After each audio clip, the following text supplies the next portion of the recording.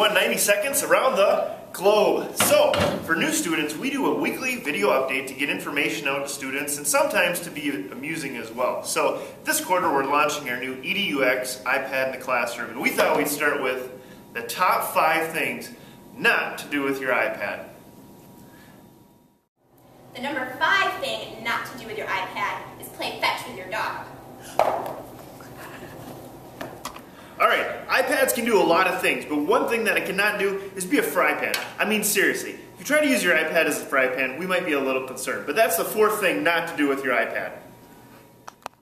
The number three thing not to do with your iPad is put it in a fishbowl or any other kind of water.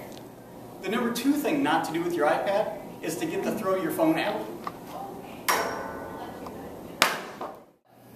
The number one thing not to do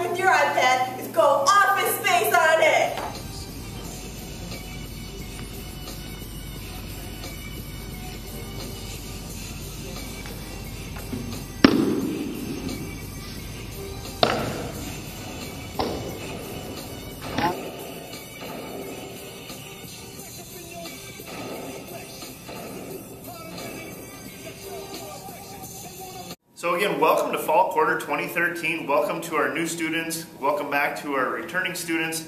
A reminder, if you haven't picked up your iPad, there's several distributions this week. And also, if you didn't get a cover when you came in to get your iPad, stop at the front desk and we'll make sure to get you that this week. Have a fantastic week and we've got a lot of fun things in store for this quarter. Have a great day.